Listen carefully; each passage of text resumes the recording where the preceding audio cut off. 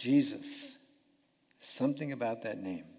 There's something about that name, Jesus. There really is. There's something about that name. Wow. So we saw last week where Jim did an excellent job covering too, too many scriptures, looking at the tabernacle. And we saw in the tabernacle all the pieces and the, the, the furniture, the furniture and the, uh, all the different utensils and how they were built and how they should be built, and the, the acacia wood and the, wrapped with gold, and we saw the mercy seat, and the, you know, just all of it was so beautiful the way it was put together. And as he, you know, as we went through that last week, I just kept thinking about, you know, who I don't know who designed this sanctuary, but from the back wall to the back wall and to the sides, it's, it's the size of the outer court. And um, whoever designed it, I don't know if they had that in mind, but this is huge. But this was, the tabernacle was designed for God's people to be able to commune with God, to have relationship with God, to, to have uh, order about their relationship with God, to have um, very purposeful worship. And and it was designed because the people were dysfunctional. Uh, they were complainers. They were whiners. They were. Uh, they just found no ability to be content with life or with, with the Lord. They just complained, complained, complained, and complained. And God chose Abraham. Abraham wasn't a Jew, he was a Gentile. He chose Abraham. And through Abraham, he was going to build a nation. Now, this nation that God was going to build did not become a nation until Moses departed from Egypt. And in the process of passing through the wilderness, God establishes the Mosaic covenant, and in it, he establishes the nation of Israel. And in the nation of Israel, he sets order and he sets law and rules and boundaries. And the people were rebellious. He's, the Lord said they were stiff necked, they were complainers, they were, uh, everyone did what they pleased and that they thought was right in their own eyes. And so the law was put in place to show them how dysfunctional they are. And in the dysfunction was this established law that had consequences. And the consequences to show Israelites that God is a God of law, order, and justice. He's a God of rules. He's a God of, of uh, righteousness and holiness.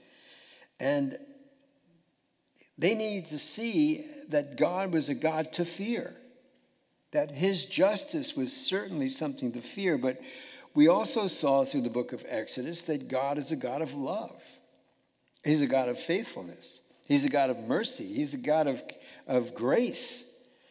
And so, this, this God that loves Israel has to set and establish a, a boundary for them.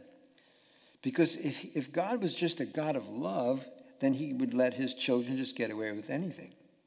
And eventually they would get away with murder. And, and you know, there's a lesson to be learned with, with raising our children. Uh, parents, there's there's a movement with parents today, and that is I'm going to be my kid's friend. Um, it's nice to have. Uh, your kids as a friend. But the problem with that is they need a parent. And, um, you know, well, I never spanked my kid. Um, I think God was pretty smart in making them fear the Lord because fearing the Lord is what made them repent. It was made them, it's what made them fall on their face and cry mercy. Um, and so God really gives us a beautiful picture of holiness, righteousness, and, and justice wrapped in love. And as we see the Lord building this tabernacle and laying out the order for the tabernacle, we begin to see that God has a order to him.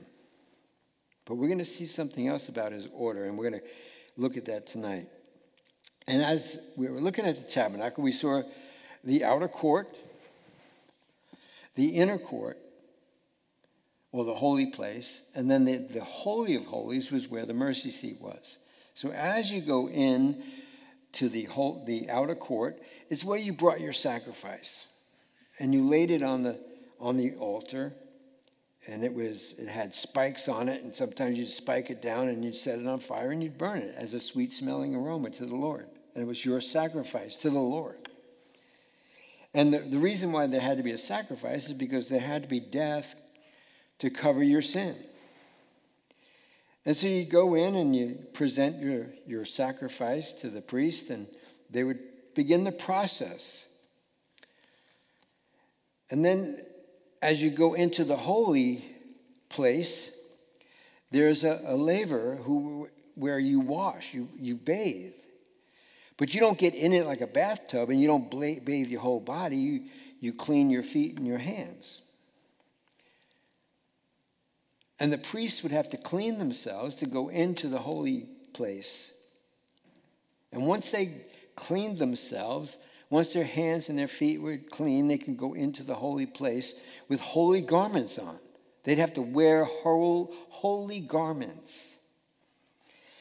And once they enter into that room, there would be a lampstand that would give light to a place that was, and we saw last week how it was built, how thick it was, and the badger skins, and all this stuff that would cover this tabernacle so there was absolutely no presence of light inside of it. It was total darkness. And so this light, that the lampstand was built out of pure gold. Pure gold. It was, it was a picture of pure holiness, pure deity, the picture of the light stand. And in that room also was the, the showbread table. And the showbread table uh, would present the 12 loaves of bread, and uh, there were pretty large loaves of bread that was in that room. And in that room, before the veil, there was an incense table where they would burn incense. And the light would be lit 24 7, and the incense would be burning 24 7, and the bread would be baked every, every, uh, every sixth day and it would be prepared and put out there. And every seven days, they replace the bread. And then there would be the veil, separated everyone from the presence of God. And the veil was six inches thick. And only the high priest could go behind the veil once a year on the Day of Atonement to bring in the sacrificial blood of the animal and he would bring the blood into the, the Holy of Holies, behind the veil, into the presence of God. The Shekinah glory, the presence of God was in that Holy of Holies. And in there was the Ark of the Covenant. There, was, there would be the Ark of the Covenant. There would be Aaron's rod who had budded. In that, in that ark was, was the, the, all that Christ was. All that Christ was was in that ark. And so you have the law in there, and the, in the law was in there. And in this uh, acacia box that was covered in gold inside and out was a mercy seat with cherubim on top of it covering the mercy seat. And the, the blood would be sprinkled on the mercy seat. Wow. Now back up. Behold the Lamb of God who takes away the sin of the world. The Lamb of God. God comes because animals can't take away man's sin. It can only cover it so God can have a relationship with us. But the animal's blood can never remove the sin. So, ever since Adam and Eve, up till Jesus Christ, everybody's sin was never removed. Everybody had sin. Everyone who ever existed since Adam and Eve had sin still judging them. And so there had to be a remedy for everyone who believed. Since Adam and Eve were given the promise of the seed, Jesus Christ, back in the garden. They were given the promise. And the belief in the promise is what how they gained their salvation. And all through the Old Testament, all the prophets told of Jesus Christ, who was salvation, the Messiah, the Christ. It was their salvation. And that was how they gained their ability to be saved. Not by the blood of animals, not by keeping the law. Now they lost sight of that along the way. They began to believe that the law would save them, the law would protect them, but it never could. It never would. It was an animal that died. And it was the law that kept them guilty. The law convicted them, convicted them. The law was always judging them. See, Jesus is the Lamb of God. So what Jesus comes to the outer court. He comes to the world, the outer court. And he, he's, he's laid out in the outer court. He's laid out in the world and crucified. And they shed the Lamb of God's blood. Jesus' blood is shed.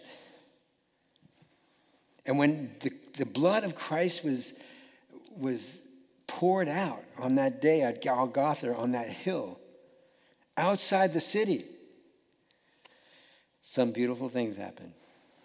God was pleased with a human sacrifice that paid for human sin. God was pleased.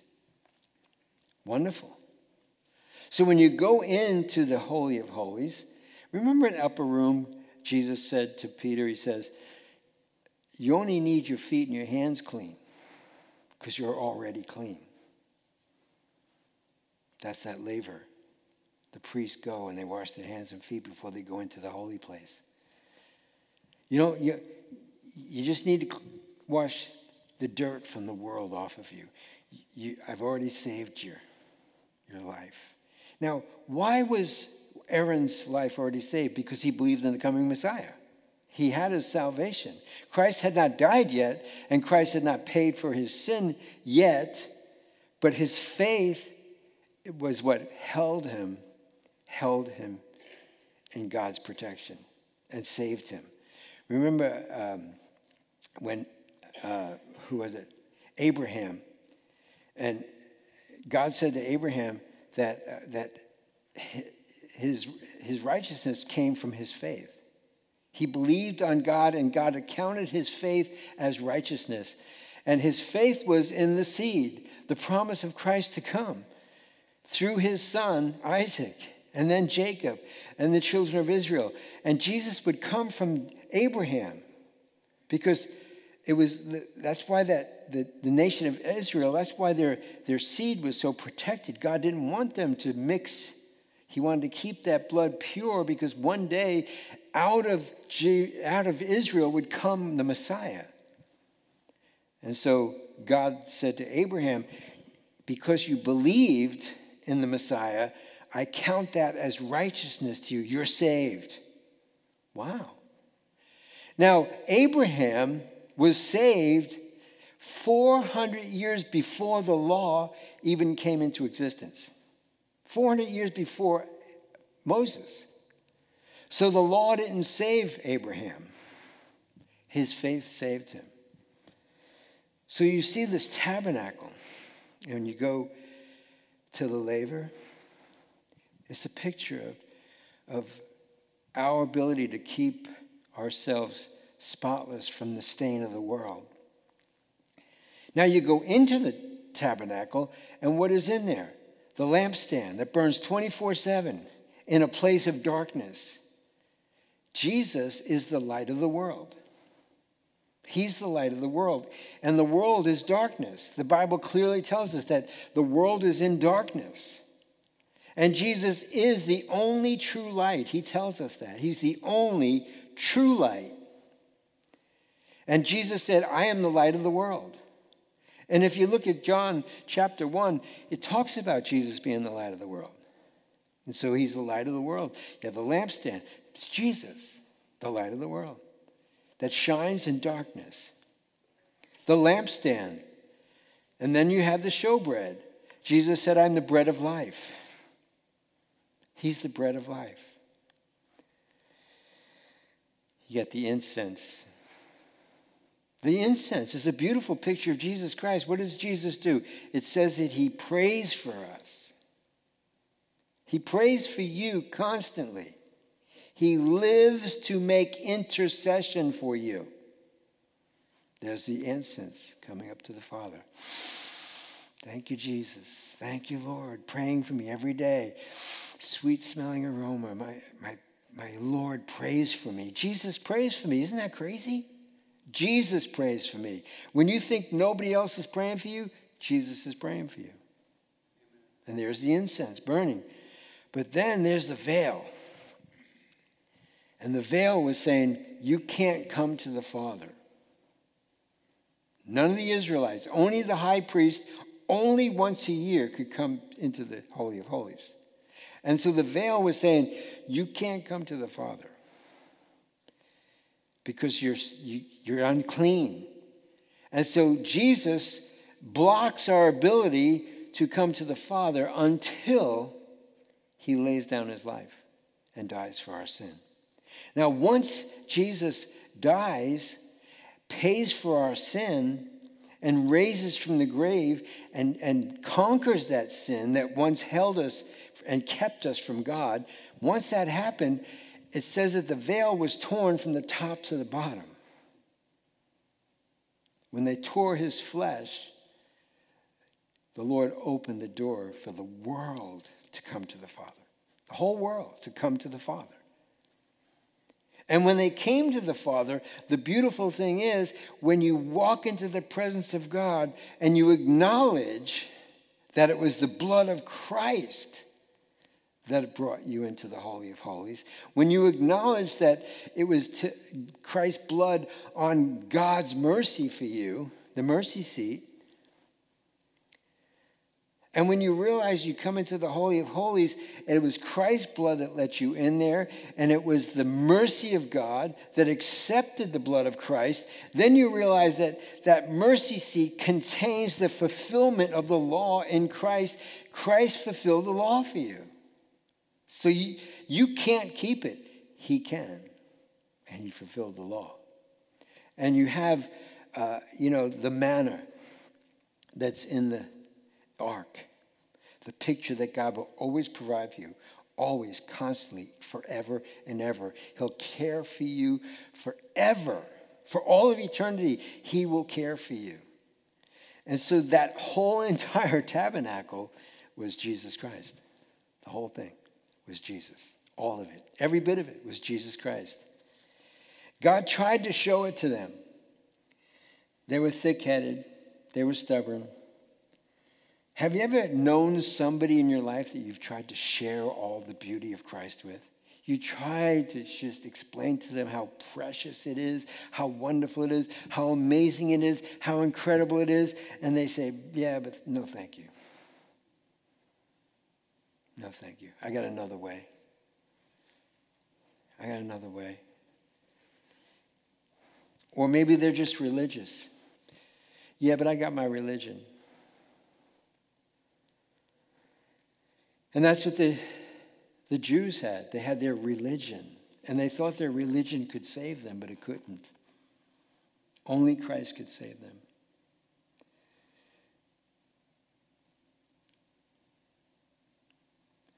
So we get to chapter 31, and it opens up and it says, Then the Lord spoke to Moses, saying, See, I have called by name Bezalel, the son of Uri, the son of Hur, of the tribe of Judah, and I have filled him with the Spirit of God in wisdom, in understanding, in knowledge, and in all manner of workmanship, to design artistic works, to work in gold and silver, to work in bronze, in cutting jewel, jewels for settings, carving wood, and to work in all manner of workmanship. Now, this is after uh, the Lord told Moses all about all the, the furnishings.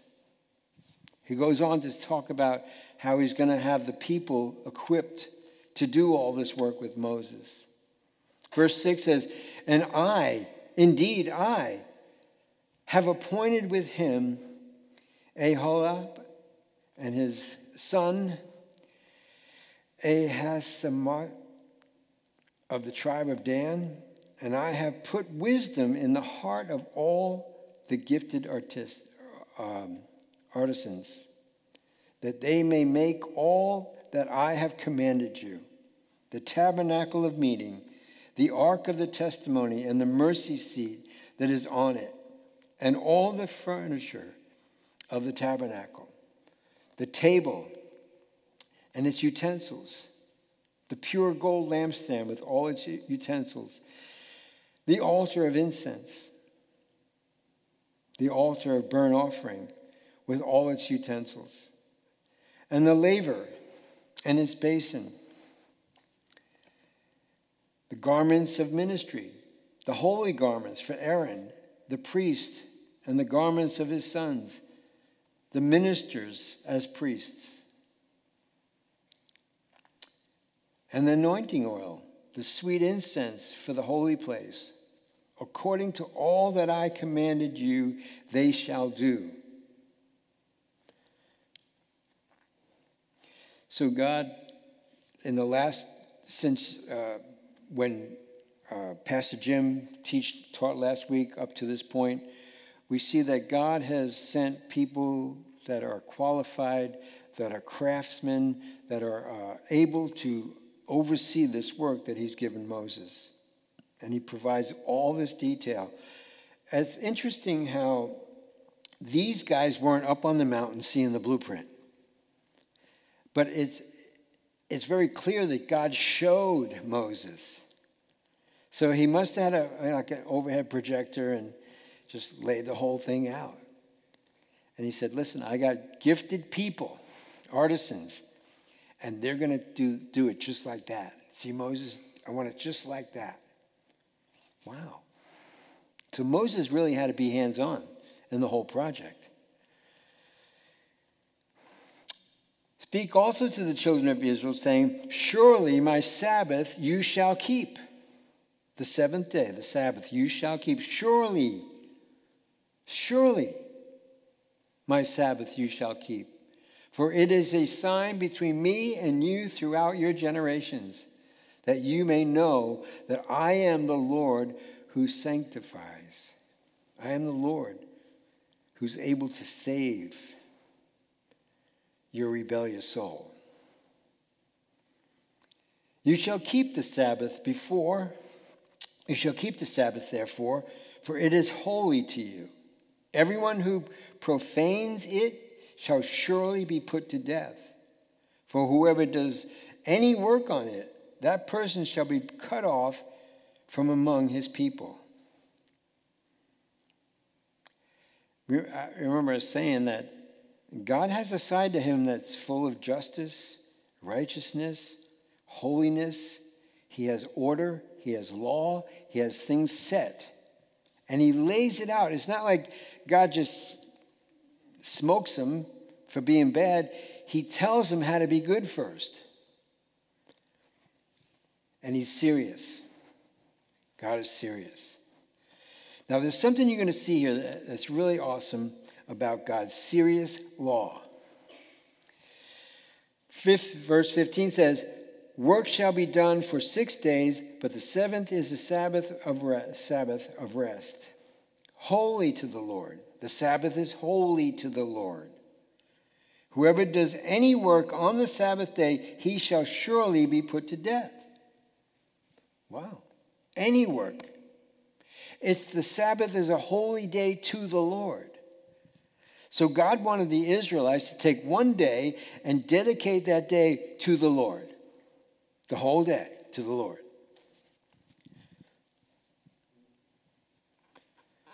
Therefore, the children of Israel shall keep the Sabbath to observe the Sabbath throughout their generations as a perpetual covenant.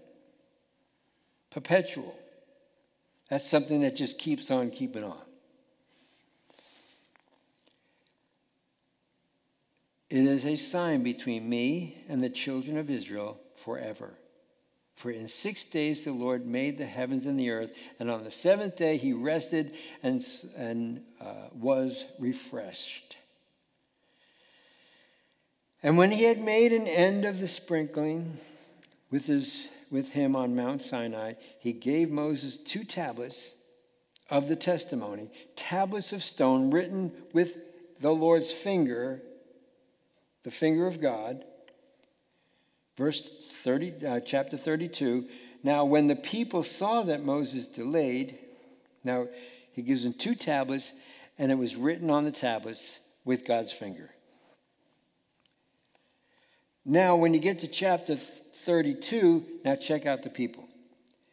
And he received the gold. Wait, no, back up. Now, when the people saw that Moses delayed coming down from the mountain, the people gathered together to Aaron and said to him, Come make us gods that shall go before us. For as for this Moses, the man who brought us up out of the land of Egypt, we do not know what has become of him. Because he's been up there quite a while. And so they're like, you know, Aaron, and, and who's Aaron? He's one of the leaders. He's one of the holy leaders of God. So they go to Aaron and say, hey, listen, this Moses guy, we don't know what happened to him, but we need a God. So we need you to make us a God. And Aaron said to them, No way, I'll never do such a thing. God is holy and righteous. Why would I ever do such a thing? Oh, that's not in there. Oh, never mind. and Aaron said to them, Break off the golden earrings which are in your ears, in, your, in the ears of your wives, your sons, and your daughters, and bring them to me. So all the people broke off the golden earrings which were in their ears and brought them to Aaron, and he received the gold from their hand and he fashioned it. He fashioned it, wow, with an engraving tool and made a molded calf. Listen carefully. And he received the gold from their hand and he fashioned it with an engraving tool and he molded a calf. Then they said, This is our God. This is your God, O Israel. Now, Aaron is supposed to know better. Has he not seen the hand of God move in, in Egypt? Has he not seen the hand of God move on the Red Sea? Has he not seen the hand of God bring water out of a rock? Has he not seen God provide meals for them every single day? Wow. Bring me the gold and I'll make your calf. I'll, I'll engra- fashion it, I'll engrave it, and I'll mold a calf for you. So when Aaron saw it, he built an altar before it, and Aaron made a proclamation and said, Tomorrow is a feast to the Lord. Verse 6 Then they rose early on the next day and offered burnt offerings and brought peace offerings. And the people sat down to eat and drink, and they rose up to play. These are the people that God led by the, the pillar of fire and the pillar of smoke, and He got them across the Red Sea. He destroyed the whole Egyptian army. He brought all the plagues on Egypt. He provided for them. Wow. Verse 7 And the Lord said to Moses, Get down for your people, whom you brought out of the land of Egypt, have corrupted themselves. Now, you got to picture Moses up on the mountain. He's on the mountain with who? God. I don't know if you can comprehend what, I, what that means when it says he was with God. God, the great I am, the all sufficient one, the Almighty, God Himself God. He's with God on the mountain, and God's given him this incredible task, and God's laying it out. He's showing it to him. They're having this great time up there. He was up there a long time with God. And God's talking to him, and this is, and he's like, "This, wow, this is awesome." And then God says, "Get down, you, your people are get, go, really going off." It's like, "Wow, we were having a good time." Oh no! Can you imagine Moses? Get down. Go get down, for your people whom you brought out of the land of Egypt have corrupted themselves. They have turned aside quickly out of the way which I commanded them. They have made themselves a molded calf and worshipped it and sacrificed to it and said, This is your God, O Israel that brought you out of the land of Egypt. They're saying that this calf brought them out of the land of Egypt. How does God feel? Wow. Wow.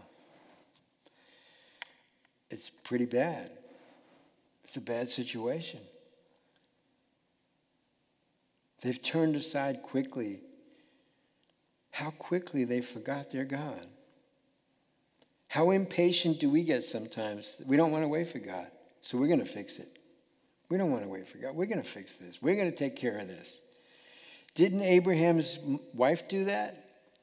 We, she, he didn't, she didn't want to wait for God. She was going to fix the situation. And what came forth? Ishmael.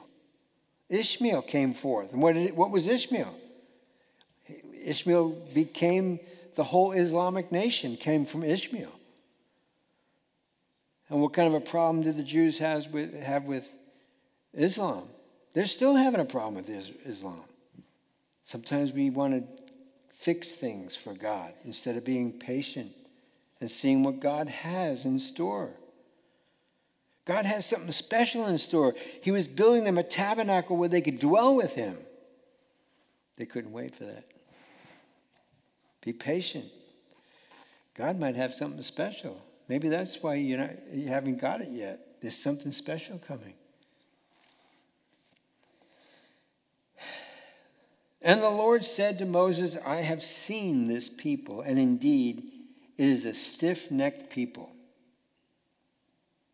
Now, therefore, let me alone. God says, Now, therefore, Moses, let me alone, that my wrath may burn hot against them, and I may consume them, and I will make of you a great nation. Moses, I'm going to start over with you.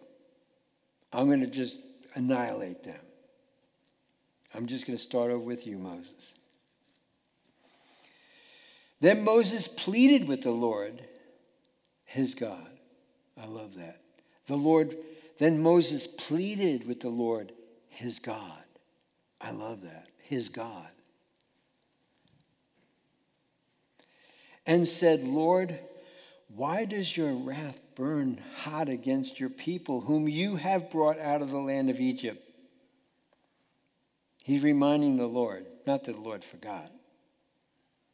With great power and with a mighty hand. Why should the Egyptians speak and say, He brought them out to harm them, to kill them in the mountains, and to consume them from the face of the earth? turn your, your, turn your fierce wrath, turn from your fierce wrath, and relent from this harm to your people.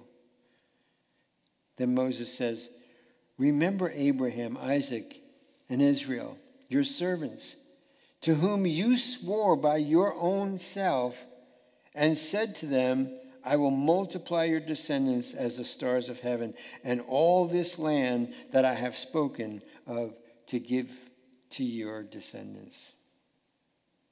And they shall inherit it forever. Verse 14 So the Lord relented from his harm, which he said he would do to his people.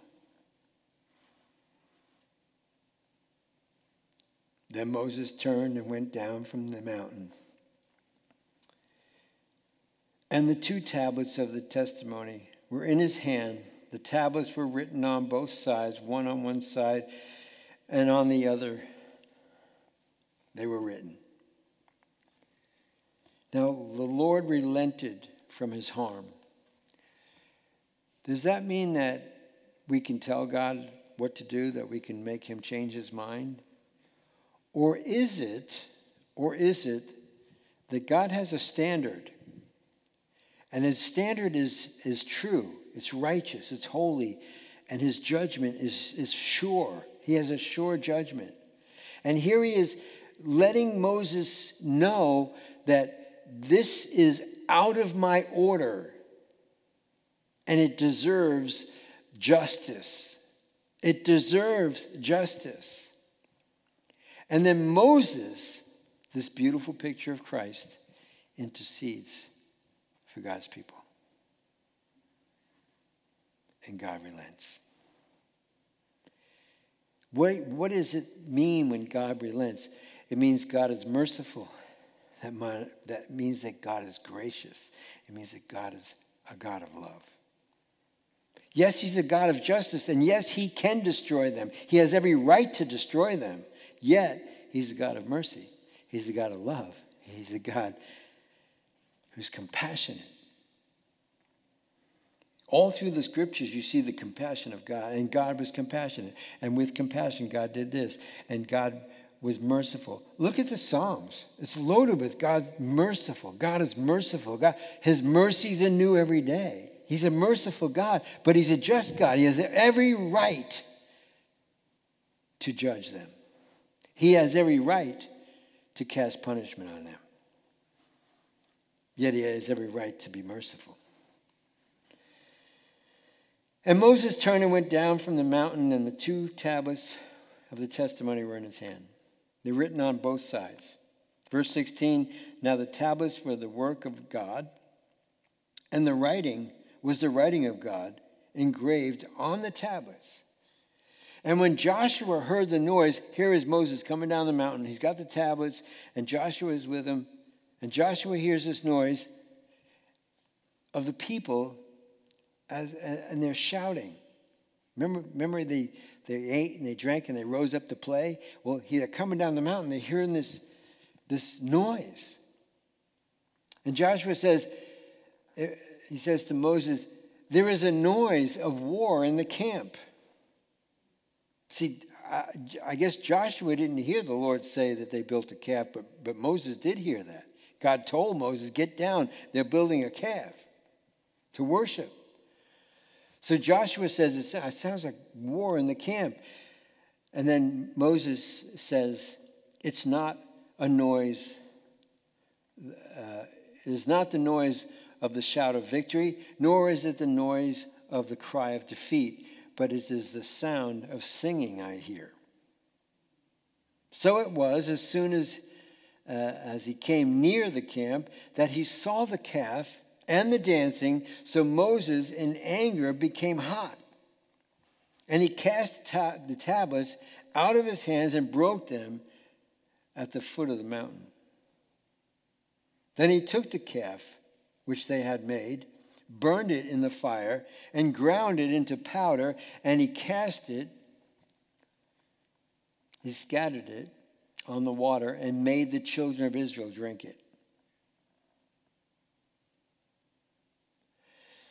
Now, Moses is an 80 year old man.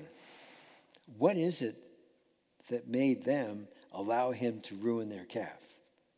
They had some kind of fear of Moses, for sure.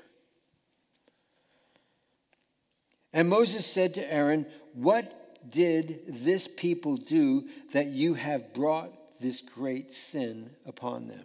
Like, Aaron, what did they do to you for you to be able to come to this place in your mind where you're going to destroy them. What did they, what were you thinking? So Aaron said, check this out. Do not let the anger of the Lord become hot. You know the people, that they are set on evil. You know, those people. Remember the Garden of Eden when Adam and Eve sinned, right? And Moses, and, and I mean, Adam was there, and, and God called him out. You know, and, and what did what did Abraham, what did uh, Adam say to the Lord? That woman you gave me. Yeah, that's what he said. That woman you gave me. And Aaron's doing the same thing. Those people, you know those people. You know how they are. They're always doing evil. Verse 23 For they said to me, Make us gods that shall go before us. As for this Moses, the man who brought us out of the land of Egypt, we do not know what has become of him. And I said to them, Whoever has any gold, let them break it off. So they gave it to me. And I cast it into the fire, and this calf came out. For real. This is what he says. This is Aaron. Can you believe it? This is Aaron. He's supposed to be a straight up guy. He's supposed to be one of the, the big dudes. I threw the gold into the fire, and this calf came out. Poor Moses. He must have just was like,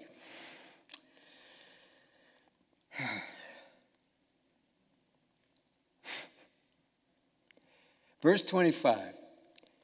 Now, when Moses saw that the people were uh, unrestrained, for Aaron had not restrained them, to their shame among their enemies. Wow, to their shame among their enemies.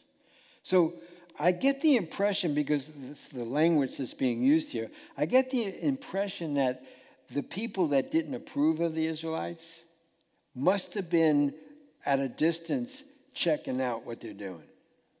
And he's going, look what you guys did in their presence. Look what you did. You showed them that you got the stupid gold calf that you got.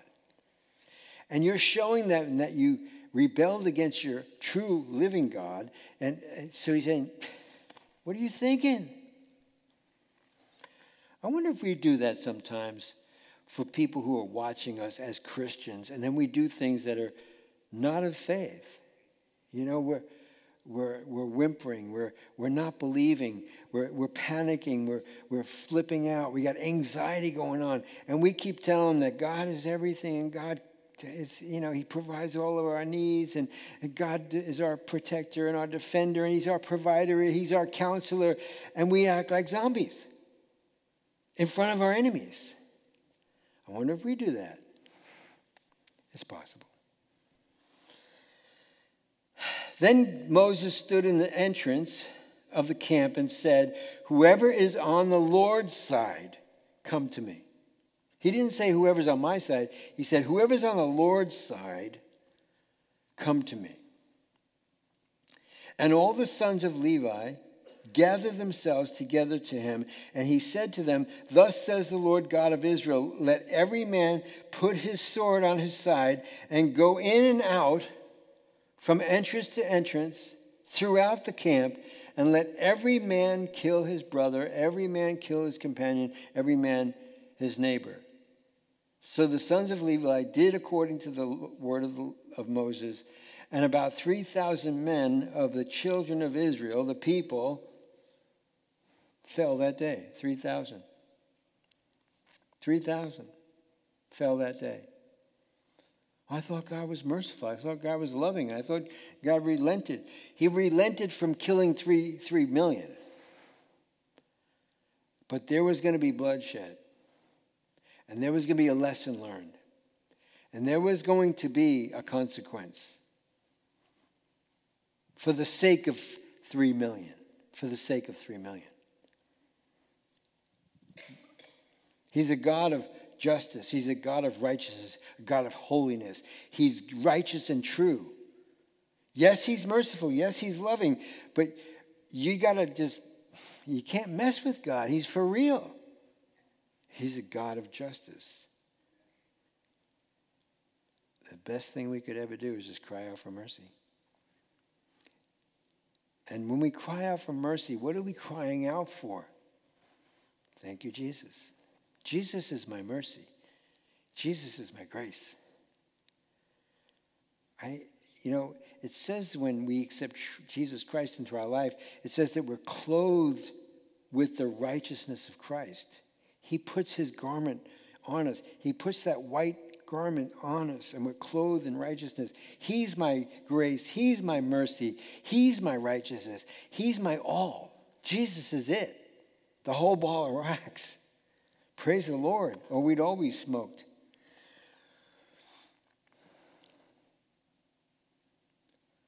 Verse 29 Then Moses said, Consecrate yourselves today, today to the Lord, that he may bestow on you a blessing this day, for every man has opposed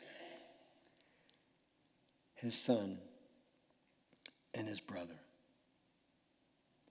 Now it came to pass on the next day that Moses said to the people, You have committed a great sin, so now I will go up to the Lord. Perhaps, perhaps I can make atonement for your sin. Perhaps. Then Moses returned to the Lord and said, Oh, these people have committed a great sin and have made for themselves a God of gold. Yet now, if you will forgive their sins, but if not, I pray, blot me out of your book which you have written. If you will forgive their sins, well, praise God. But if you won't, take me instead. Isn't that amazing? That's the picture of Jesus. Take me. Let them live. Take me. And Moses is the picture of Christ so perfectly. If, if you could forgive their sins, great. But if not, take me. Take me. I'll take the punishment.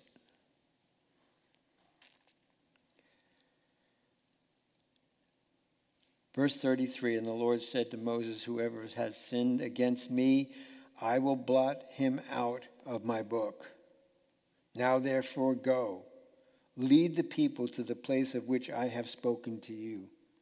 Behold, my, my uh, angel shall go before you. Nevertheless, in the day when I visit, visit for my punishment, I will, vi- I will visit punishment upon them for their sin. So the Lord plagued the people because of what they did with the calf which Aaron made. Wow. Wow. Remember, at least three times the children of Israel promised, promised that they were going to do everything the Lord said. Everything. Exodus 19, which we saw already in days past, verse 8. Then all the people answered together and said, All that the Lord has spoken, we will do. So Moses brought back the word of the people to the Lord. All that the Lord has said, we will do. In Exodus 24, verse 3, it says, So, so Moses came and told the people all the words of the Lord and all the judgments all the words of the Lord and all the judgments, the rules. And it says that, and all the people, not some of them, all the people answered with one voice and said, All the words which the Lord has said, what? We will do. Exodus 24, verse 7. Then he took the book of the covenant and read it in the hearing of the people, and they said, all that the Lord has said we will do and be what? Obedient. So, they have a they have a rough road ahead of them.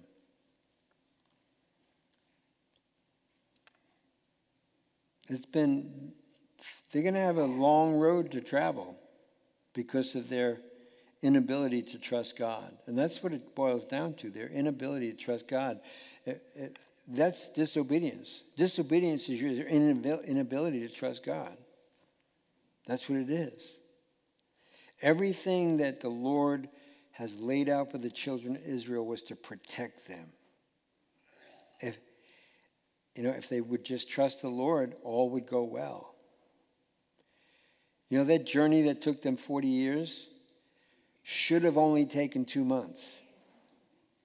It took 40 years. They even came to the, the, the, the border of the promised land And they, they were like, oh, we can't go in there, there's giants. And the Lord said, okay, we'll go back in the wilderness. Trust the Lord. You know, Proverbs 3, 4, and 5, uh, chapter 3, uh, 5, and 6 is my favorite verse in the whole Bible. And it says this Trust in the Lord with all of your heart.